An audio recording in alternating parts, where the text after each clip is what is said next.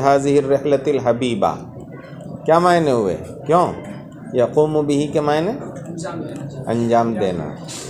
तो अब इंशा बनी कि नहीं? मैंने ये काम अंजाम दिया। बनाओ, कैसे बनेगी? मैंने ये काम अंजाम दिया।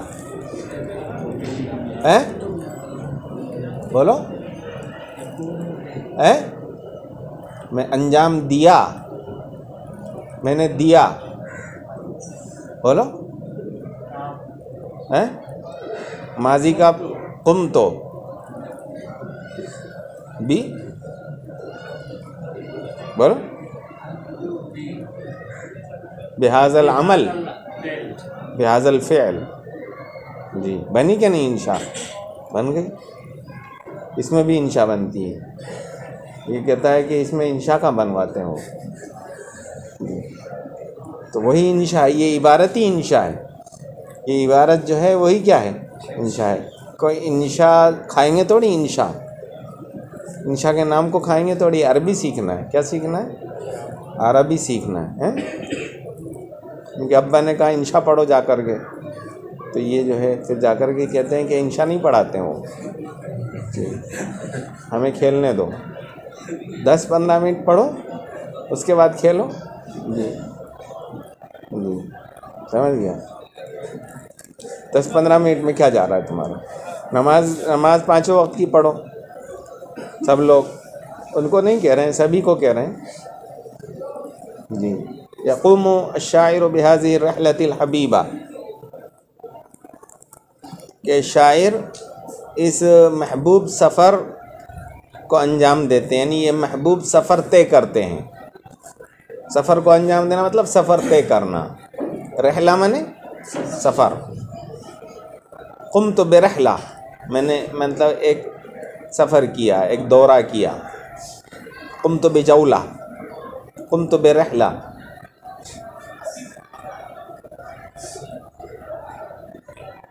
वक़द अरबा अलसिद्दीन वाव कौन सा है? वाव हलिया। इस हाल में कि वो साठ साल से ज़्यादा हो चुके हैं। अरबा के मायने? बढ़ना। साठ साल से बढ़ गए। साठ से पार हो गए। अरबा अलसिद्दीन व वहानत कुआ हो। और उनके कुआ और आज़ा क्या हो गए? कमज़ोर हो गए। जैसे आपको कहना हो मेरे अब्बा सत्तर साल से ज़्यादा के हो गए। तो कैसे अरबा मानेंगे अरबा वालिदी अलसबीन सत्तर से ज़्यादा हो गए ना। आपको जो कहना हो समानीन अस्सी ज़्यादा कहना है तो अलस समानीन कह देंगे और उनके कुआ कमज़ोर पड़ गए हैं वहानत वहाना माने कमज़ोर पड़ा फ़ी सिन्निन। जी, ऐसी उम्र में तो युफ़िल फ़ीन्नासराहत वलिक़ामता कि लोग उसमें तरजीह देते हैं राहत को और क़ियाम को। फ़ज़ल फ़ज़ल माने तरजीह देना फ़ोकियत देना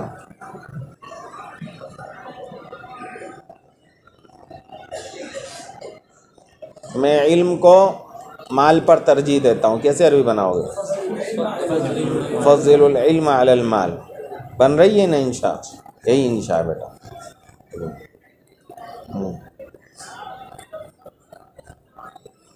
तो राहत फमा बालू युसाफिर हो शेखन तो उनका क्या हाल है कि वो सफ़र कर रहे हैं इस हाल में कि वो बूढ़े हैं इस हाल में कि वो बूढ़े हैं वक़द अज़ाफ़ुलमरज़ व शैबो इस हाल में कि बीमारी ने और बुढ़ापे ने उनको क्या कर दिया है कमज़ोर कर दिया अज़ाफ़ा मैंने कमज़ोर कर दिया वहानहू से क्या आएगा अवहनहू अवहनहू अलमरज़, ऐसे भी कह सकते हैं ना। वसफ़र हिजाज शाक़ुन मुजनिन। और हिजाज का सफ़र मशक्क़त वाला है, मुजनिन और लागर कर देने वाला है। ये किससे बना है, मुजनिन?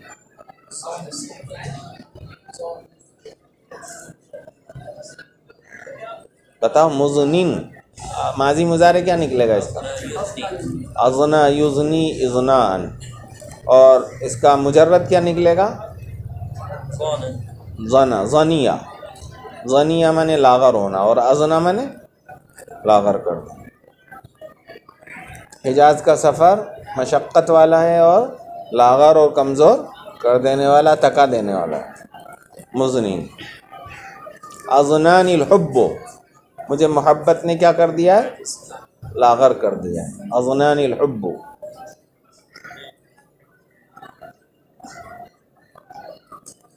वक़द नसहतिब्बा वलअहिब्बा बिर्राहत वलहुदू और अतिब्बा ने और मोहब्बत करने वालों ने उनको नसीहत की है राहत करने की और आराम करने की।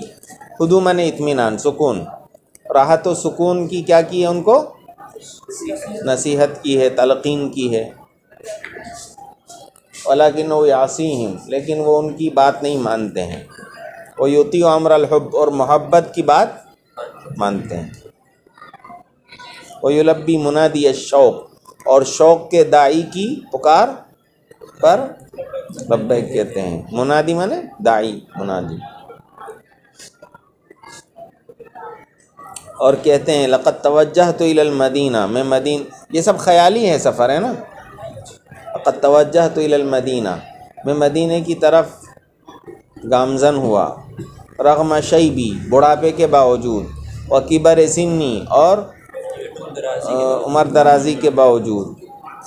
उगन्नी, मैं गा रहा हूँ। अनशदुलबियाता और शेर पढ़ रहा हूँ। फ़ी सुरूर व हनीन इश्क मस्ती में। खुशी और मस्ती में और जज्ब शौक़ में। जज्ब शौक़ में। वाला आजबा और इसमें कोई ताज्जुब की बात नहीं है। फ़ैनत्ता यतीरफ़ी सहरा तूला नहारी क्योंकि परिंदा दिन भर सहरा में क्या करता है? उड़ता रहता है।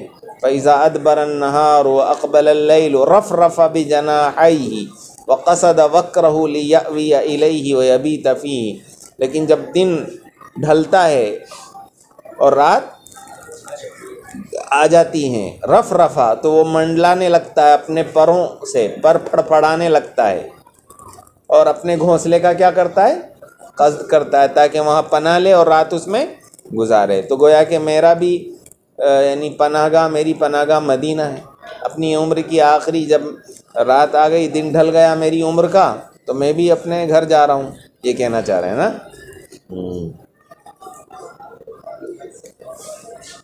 कानो यकूल गोया कि वो कह रहे हैं लिमाजा ताजबून इज़ा कसतुलमदीना तुमको क्यों ताज्जुब हो रहा है जबकि मैं मदीना का कस्द कर रहा हूँ जो मदीना के तायर लाहूती का क्या है बोलो घोंसला है वहाँ देखो ना किसका घोंसला है तायर लाहूती किसका तर्जुमा कर दिया तायर लाहूती तायर रूह रूहानी परिंदे का क्या है वो? घोंसला है क्या?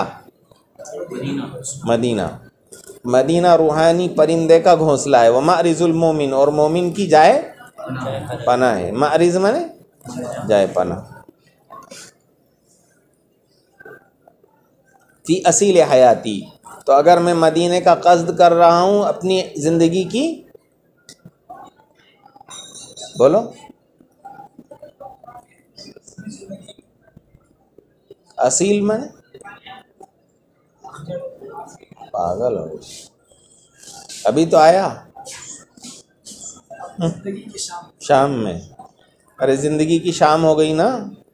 शामी को तो परिंदा जाता है, अभी तो बताया था। तो ऐसे ही मैं अगर अपनी ज़िंदगी की शाम, बुकरतम वासीला नहीं पढ़ा? सब बेहू बुकरतम वासीला बुकरा मैंने सुबह, असील मैंने? शाम। कुरान मजीद पढ़ते ही। पढ़ते हैं, तिलावत कर लेते हैं तरा भी सुना देते हैं, उसका मतलब थोड़ी सुनते हैं। मतलब नहीं समझते हो? मतलब समझा करो। सभ्यहू बुकरतम वासीला का मतलब समझो। अल्लाह की तस्बी बयान करो सुबह शाम। तो असील के मायने याद रखो। कुरान मजीद में भी तो है, अल्फाज मानी। याद रखो, तरावी सिर्फ़ मैं सुनाओ। कुरान पढ़ो तो मतलब के साथ पढ़ो। कैसे पढ़ो? मतलब याद रखो हाँ। मतलब भी समझते जाओ, कुरान पढ़ो तो। अपनी ज़िंदगी की शाम में मैं अगर मदीने का कस्द कर रहा हूँ तो क्या ताज्जुब है? वफ़ी सिन और ऐसी उम्र में, अशरफत फ़ी शमसुल हयात अलगरूब कि मेरी हयात का सूरज उसमें गुरूब के क्या हो गया है?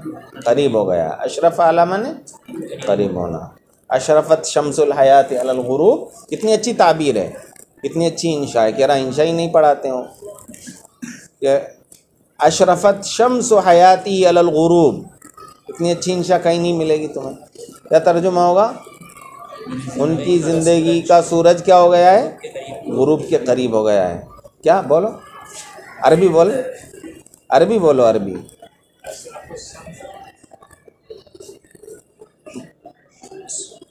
तुम बोला।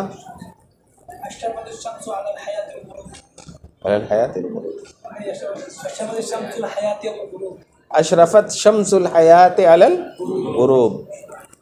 ज़िंदगी का सूरज गुरूब के करीब हो गया है। गुरूब के करीब हो गया है। अमारा आई तो मुतायरा क्या तुम नहीं देखते परिंदे को? इज़ा जन्नल ले लो जब रात छा जाती है, असरा वक्र ही तो वो अपने घोंसले की तरफ़ जल्दी करता है। बदा मोहम्मद इकबाल सफ़र हुआ शेख मरीज़। मोहम्मद इकबाल अपना सफ़र शुरू करते हैं, जबकि वो बूढ़े हैं, मरीज़ हैं।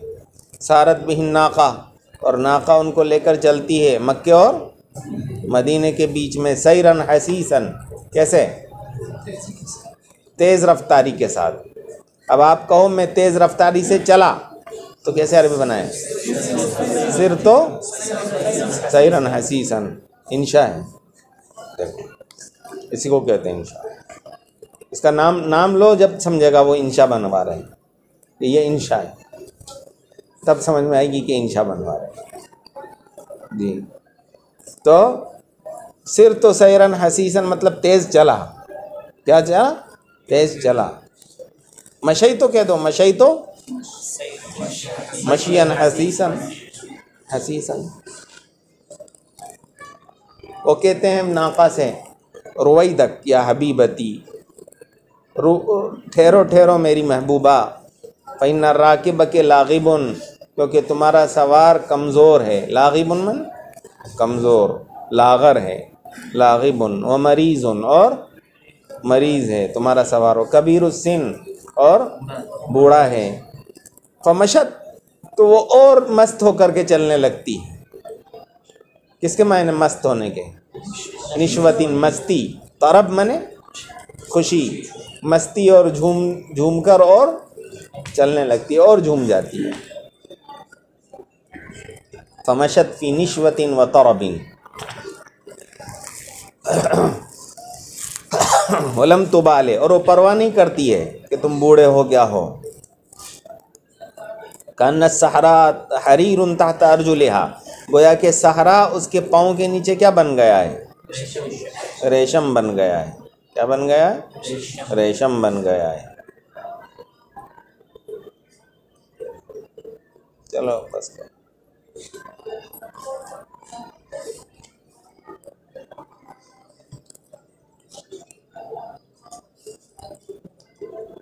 बहुत अच्छी है इबारत है इसकी। मज़ा आ जाता है। क्या तीन लाइन और पढ़ा यसीर शायर फ़ी हाज़र रकबिल हिजाज़ी अल्लज़ी यहदू बिस्सलात अला नबी सल्लल्लाहु अलैहि शायर चलता है इस हिजाजी काफ़िले में। रकब मन? काफ़िला। इस हिजाज के काफ़िले में चलता है। अल्लज़ी यहदू, जो कि खुदी खानी करता है नबी पाक पर दरुद सलाम के ज़रिए। नबी पाक पर दरुद सलाम के ज़रिए क्या करता है? खुदी खानी करता है। युरीद शायर यसजुदा सजदतन अला रमज़ा। शायर की ख्वाहिश होती है कि इस तपती हुई रेत पर एक सजदा कर ले। किसके मायने तपती हुई रेत? रमज़ा। इस तपती हुई रेत पर एक सजदा कर ले। यदूम असर हाफ़ी जबहती तूल हयाती कि जिस सजदे का असर उनकी पेशानी पर ज़िंदगी भर बाकी रहे। तूल हयाती मन? पूरी ज़िंदगी। तूल हयाती। पूरी ज़िंदगी बाकी रहे। वख्तर हज़ाल काला असहबी उज़मलाई और ये तजवीज़ वो पेश करते हैं। इख्तराह मैंने तजवीज़ रखना। इख्तराह यख्तर हो मैंने? तजवीज़ पेश करना। ये तजवीज़ पेश करते हैं अपने साथियों और अपने रफ़ाक़ा के सामने वो। किसके मायने रफ़ाक़ा के कर दिए तुम किताब ही नहीं देखोगे तो क्या पढ़ोगे? हैं? अरे किताब नहीं है तो जो किताब वाला हो, उससे दोस्ती कर लिया करो कि मुझे बिठा लिया करो अपने पास। थोड़ा वो, उससे दोस्ती कर लो। पहले से ही। तुम्हारे पास किताब है? हमारे पास बैठ